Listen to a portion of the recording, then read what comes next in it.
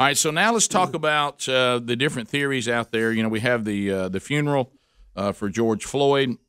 Uh, as as I heard uh, one pastor say this past week, I totally agree. He said, "I tell you what, we all need to be concerned about is we just saw one human being do that to another human being, and we need to ask ourselves, have we become this deprived? Uh, that any human being would do that to another human being. Period." No matter ethnicity or agendas or you know uh, whatever the motivation was that we would we would now be a society that something like that happens just right there with cameras rolling and with a look of really evil and no concern uh, just totally glossed over.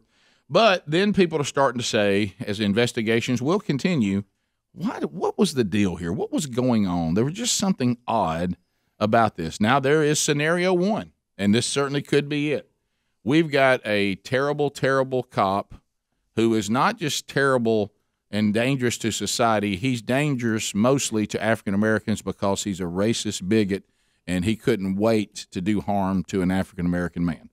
Okay, there's one. That's that, that is a that is a possibility. That's that's a possibility. We we will see when we get to the bottom of it.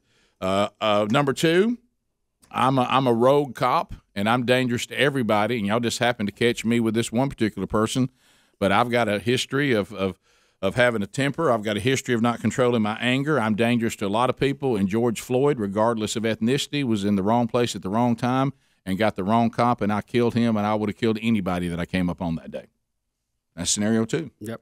And neither one of those are good, Possible. by the way. No, no, not good. Then there's the scenario three. Uh, George Floyd and Derek Chauvin knew each other, and there was another relationship going on, or something happened and Derek Chauvin saw his opportunity to kill George Floyd, and he did.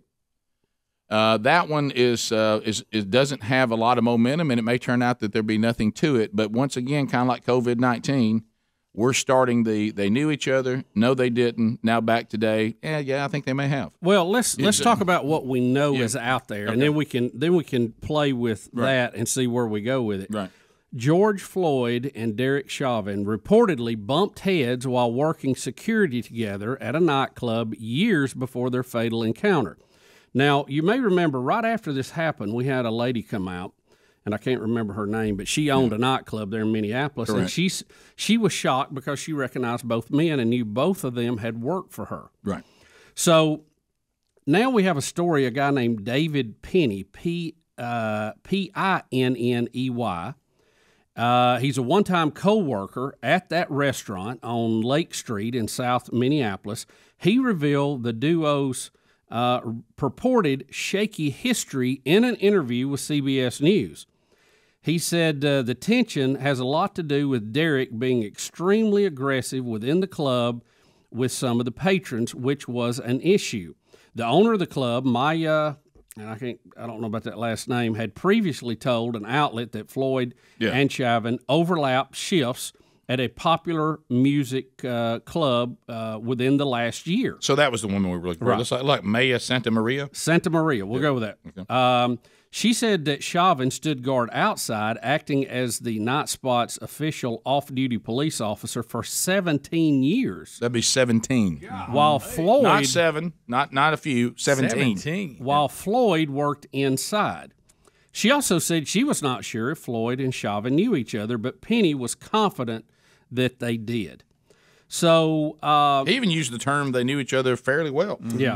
Uh, pretty well. So one, y- y- we don't know this Pinney guy. We don't know how reliable he is. I'm That's sure right. That's right. there's other sources that can collaborate or corroborate. uh, corroborate Yeah. or deny that relationship. Right. So, um, but it but it does bring forward some strange things. There, there's a couple of things about the whole thing that bothered me, and and it may just be me and my not knowing of procedure. We all admitted it looked very strange the way he was doing this. Yes, it did. It did. Uh, he wasn't looking down at him. He wasn't making sure he, he, he almost just you remember and he didn't even care he was being videoed. No, he didn't seem to care he was being videoed, and he didn't seem to care that people were telling him, even some of the policemen, Yeah. you need to put him on his side. Hey, you're killing him. Please stop. He didn't seem to care about any of that. It's almost like he wasn't even in the moment. Right. It's like he was in another place. Yeah. And which made it very wicked and, and evil. Which, by the way, that's what it is. No matter what it turns out, what you saw there is evil, and you know, of course, I would say I can get too, more into that, but and, and, and again, I'm just speculating. I, I think that that somebody working security at one of those clubs that long sounds a little strange to me because most clubs don't last that long to begin with. Yeah. Well, I want you to listen to this phrase because they say even this this narrative may be part of it being upgraded from third to second degree degree before the charges were upgraded from third to second degree. CBS News reported that they were told, "We believe Chauvin knew who George Floyd was." Mm-hmm. So, I, I don't know. It, it it it does ask the question: Did they have a run-in? Was there some type of grind between the two?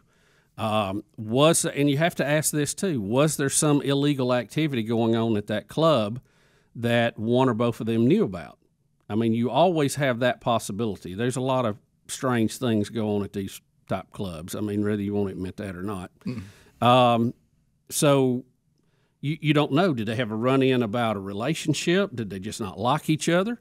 Uh, was there other people involved? Uh, could there be drugs involved somehow? We don't know. It's being investigated. Well, we know Chauvin. If you look at his history, he, he, he Everybody says he had a temper. he had a temper, and you know he had complaints against him. He didn't appear to be an upstanding dude. Period. Uh, which we that's one of the things we do need to address is how people who are an issue in police departments uh, are protected maybe longer than they should be. I don't know where we find that balance, but certainly, but it's back that there may have been a relationship between the two, but no one knows to what level. We'll be right back.